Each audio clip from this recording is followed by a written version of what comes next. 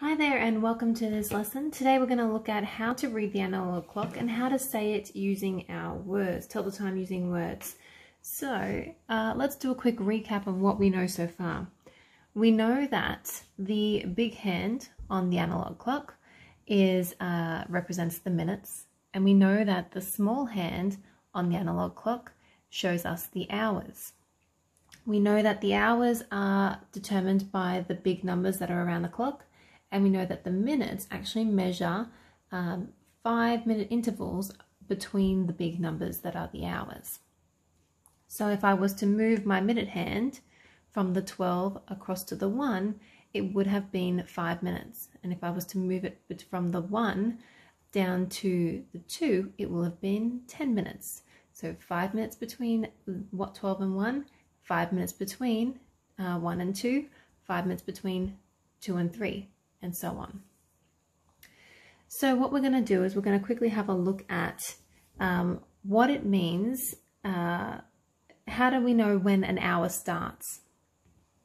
So at what point does an hour actually start? We have one hour here, two, three, four. How do we know when that number, when that one hour actually starts? And the way that we know that the one hour actually starts is when this minute hand gets to the 12 or goes past the 12. So if I make this hour hand point up at the 1 and I make this minute hand point up at the 12, it means that this hour is just about to begin. And the time that we read when we, when we see this on a clock is 1 o'clock. If this one minute, this uh, minute hand was to travel all the way around the clock, and this hour hand was now pointing here, we would then be able to say that the second hour is about to begin, and therefore this is 2 o'clock.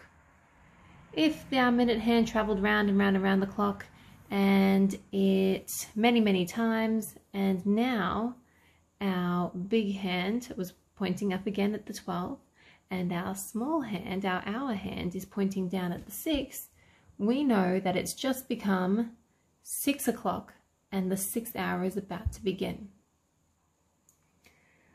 So that's nice and easy. Six o'clock, which means this one here would be seven o'clock, eight o'clock, nine o'clock, 10 o'clock, 11 o'clock, and then 12 o'clock. But what if the time isn't an o'clock? What if it's not time for a new hour to begin? How do we actually go about saying that? What we need to do is we need to have a look at our clock and we need to divide it into two main parts. So what we're going to do is put a line straight down the middle and we're going to color one side of it orange and one side of it pink.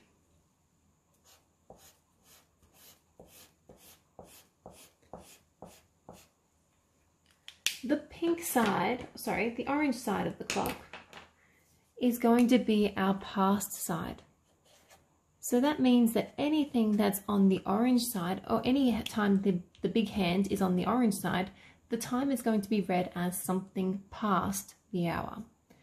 The side that is pink is going to be our to side. And so once we get past the orange side, we're going to start counting how many minutes until the next hour. So two completely different focuses when we read this time. For example, if I put my hour hand back on, and this time I'm going to point it just after the 4. So it's not quite on the 4 at the moment because it's not going to be 4 o'clock. It's going to be just after the 4. And I'm going to place my minute hand pointing here at the 2. So I've got my hours and my minute hand.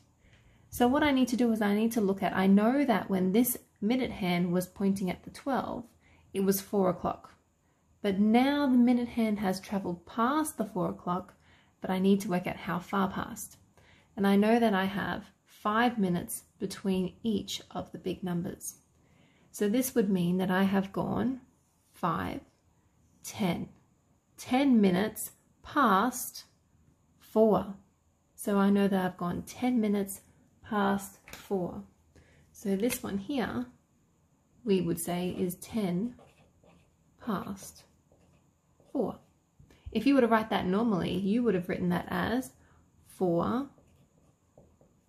10. So 10 past 4 is the same as 410. If I was to move my minute hand, if I was to change the hour, and let's say I'm going to change the hour to, it's just after the 1, and I'm going to put my minute hand down here at the 5. So we're still on the orange side of the sheet, so the, this, this half of the clock. So we know that it's going to be a past time. So we need to work out what hour it is that it's just gone past. So the hour that it's just gone past is 1. So it's the, the hour hand has just gone past the 1. So we know it's going to be past 1. But we need to know how far past 1. So we're going to count our minutes again. We're going to go 5, 10, 15, 20, 25 minutes. So the time on this clock is 25 past 1. Or if you were going to write this in our normal time, you would say that the hour is 1 and that the minutes is 25. So that's how we determine whether it's a past time. What about if the minute hand, however, is pointing at the 8? We're no longer on the orange side of the clock. No longer on the orange side. So we're no longer dealing with past. We're now looking at how far to or until the next hour. So we know that this one here is going to be a to time. So in order to do this, what I need to look at is when will the next hour occur? Well, the next hour is going to occur when this minute hand gets back to the 12. So we're going to count how many minutes until it gets back to the 12 for the next hour. So we've got 5, 10, 15, and 20. So it's going to be 20 minutes until the next hour. If the hour hand is between the 1 and the 2, what is going to be the next hour? Well, it's already gone past the one, so the next hour is going to be two. So that means that the time on this clock is 20 to 2. If I was to write that normally, I would have written that as 1, 5, 10, 15, 20, 25, 30, 35, 40 as 140. So you can see that writing on the, the way we read the to side of, of the clock is very different to the way that we read the past side of the clock.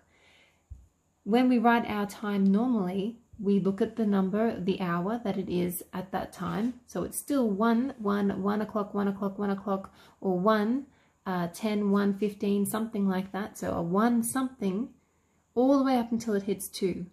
But when we're reading it out in words, we are looking at to see whether it's closest to the one o'clock or the two o'clock time. And that's how we do the reading.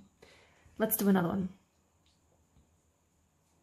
If, let's move my hour hand this time. I'm going to put my hour hand over here and I'm going to put my minute hand pointing up at the 11.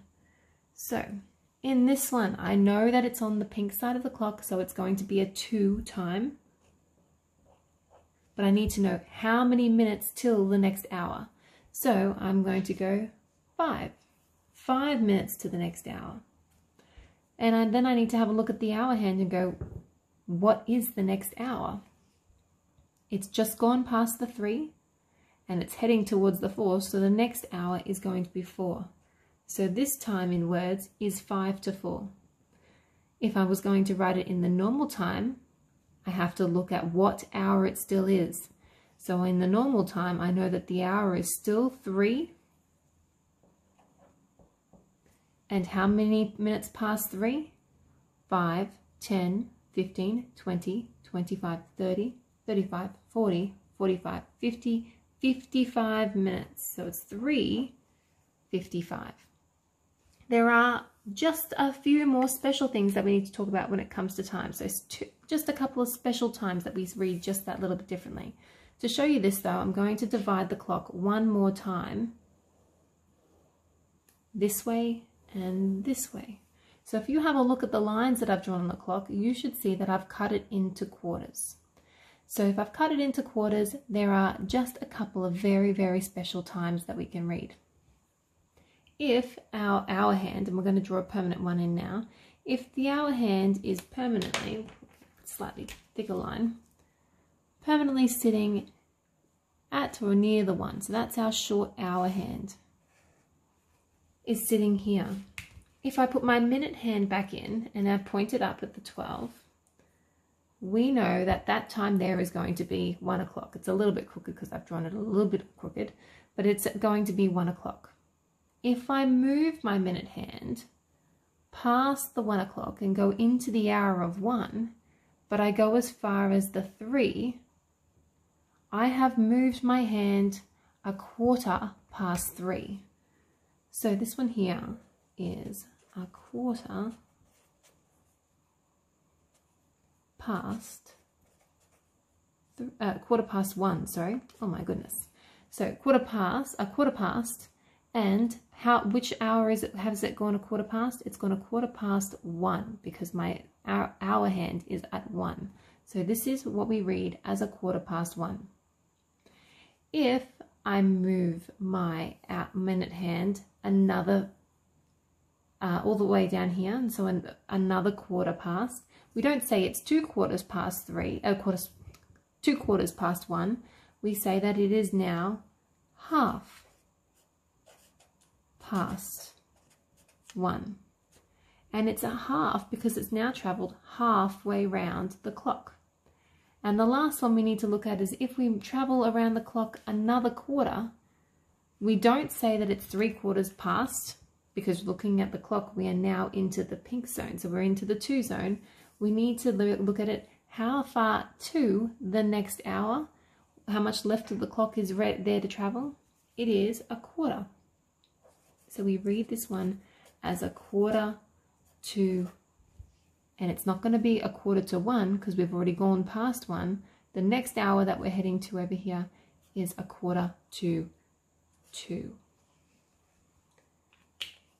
Okay, uh, I hope that has helped you out. So key things to note, we looked at hours, minutes, we looked at what the clock looks like when it's an o'clock time. We looked at what the clock looks like when it's a past time and what the clock looks like when it's a to time. We also looked at the differences and similarities between how we write time normally and how we would say it in words. And then we looked at special times like a quarter past, a half past, and then a quarter to. Good luck!